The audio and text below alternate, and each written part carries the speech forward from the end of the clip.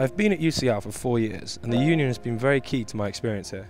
The opportunities I've received have made me feel it's time to give something back. I'm an economics student here at UCL and I've held financial positions both in societies at UCL and in the corporate world. I feel this has given me the skills to deal with the challenges that will inevitably arise in that position. But I did the best I can.